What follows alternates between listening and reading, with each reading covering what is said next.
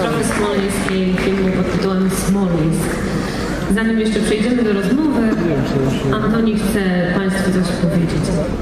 Proszę Państwa, ja tylko chciałem przypomnieć tym, którzy byli tutaj trzy lata temu, 10 kwietnia 2013 roku, e, a tym, którzy nie byli, powiedzieć, że właśnie wtedy rozpoczęliśmy zdjęcia do filmu fabularnego Smoleńsk, o tragedii smoleńskiej, e, że trwało to tak długo, ponieważ były chwile, kiedy wydawało mi się, że tego filmu nie uda nam się wszystko zrobić.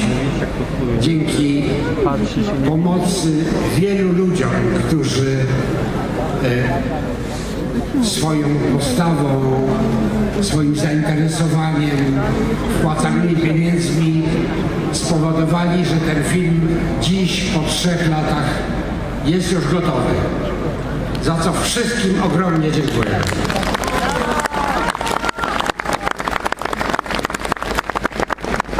Mamy jeszcze do zrobienia kilka efektów specjalnych, ale to nie zmienia, że e, film już jest i nic się złego z nim nie stanie.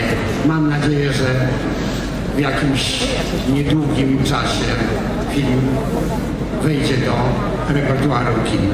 Jeszcze raz wszystkim Państwu, tym, którzy występujecie w tym filmie, którzy byliście na krakowskim przedmieściu wtedy i, i potem w, podczas kolejnych miesięcy, ogromnie wszystkim dziękuję. Bardzo dziękuję.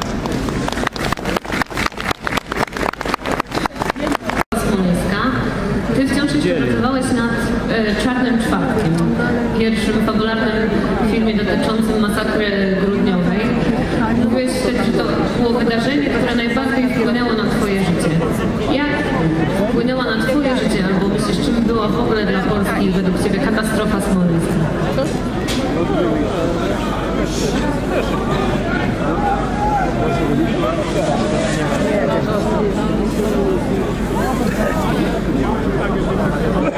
Organizatorzy przypominają, żeby kierować się delikatnie w stronę placu zamkowego. Tutaj prosimy o spokój i prosimy o spokojne przechodzenie w lewą moją stronę, czyli w Państwa prawo.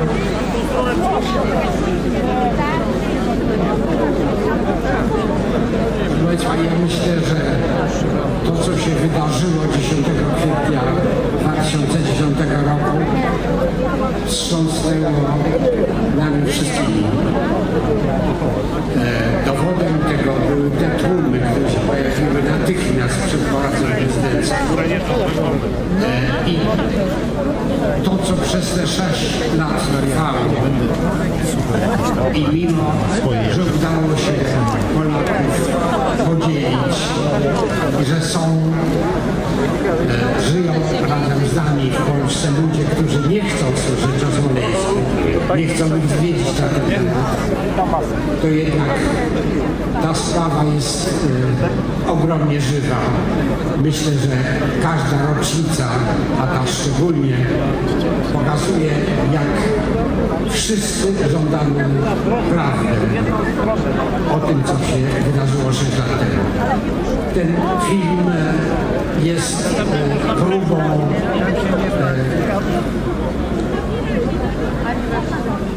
przedstawienia tragedii smoleńskiej również tym, którzy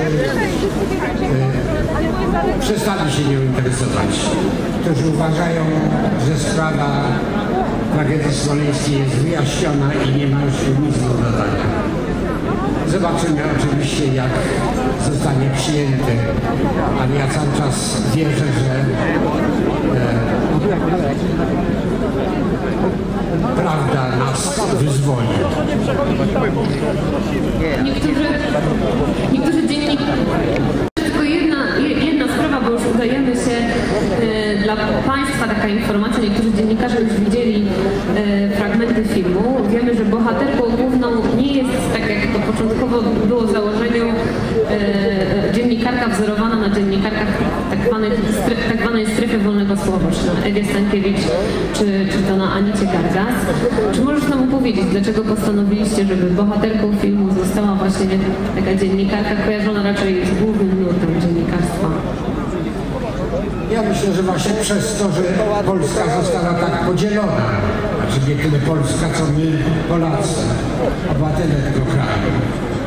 E, wydało mi się po prostu, że może będzie ciekawsze dla widza o, o różnych poglądach, nie tylko naszych, zobaczyć jak przebiegała manipulacja. Do tego oczywiście wydaje mi się świetne tak zwane stacje mainstreamowe telewizyjne, tam gdzie 10 osób. tam i w gazetach e, rodziło, się, rodziło się kłamstwo, rodziła się nieprawda. No i w ten sposób e, razem z bohaterką naszego filmu Tak, zapraszamy w stronę, wychodzimy od stronę e, e, kłamstwa i próbujemy dojść do, tego, co już udało się ustalić Dokładnie tak. Czas wszystkim arkikatedra. polskim naukowcom żyjącym w Polsce i za granicą e, i, i to, co stało się naszą wspólną wiedzą. e, To próbowaliśmy przedstawić. więcej tak, żeby E, W filmie kluczowa jest, jedną z kluczowych scen jest rozmowa tej dziennikarki z pilotem. A dla Ciebie, jak, opowiadałeś, kluczowym e, dla wyjaśnienia katastrofy jest chciałbyś tutaj dzisiaj opowiedzieć, czy zachowamy to jako tajemnicę do odkrycia w filmie? Ja myślę, że taką najważniejszą rzeczą, żeby zrozumieć, co stało się wtedy nad lotniskiem Siwierny w Smoleńsku, jest sprawa, która dość szybko przedostała się do opinii publicznej.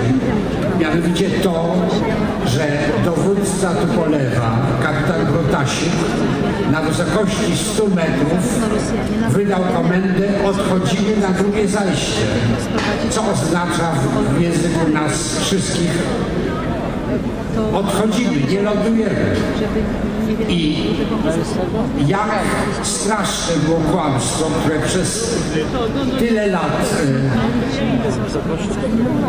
e, zatarło to co, to, co, to, co było najważniejsze wtedy w, w tej tragedii, że do dzisiejszego dnia są ludzie, którzy pamiętają, że załoga Tupolewa chciała lądować w strasznej mgle w Smoleńsku, prawda? Że mówią to ludzie na dodatek nie tylko, że tak powiem, przypadkowi, którzy się tą sprawą nie interesują, ale przez te kłamstwo od sześciu lat powtarzają również politycy, wykorzystując to jako dowód e, no właśnie, Dlatego kompromitujący załogę samolotu, sami pewnie nie wiem, e, dowództwo wojska. gadać, tak. Więc tak. Ale w przepraszam, naszym filmie jest rozmowa z postacią e, właśnie doświadczonego pilota, wzorowaną zresztą na prawdziwej postaci jednego z e, dowódców rozwiązanego, istniejącego już 36 Pułku Specjalnego, który po prostu mówi rzecz podstawową, że jeżeli pada w samolocie komenda odchodzimy na drugi krąg, czy na drugie zajście, bo to jest to samo, to znaczy, że samolot powinien odlecieć.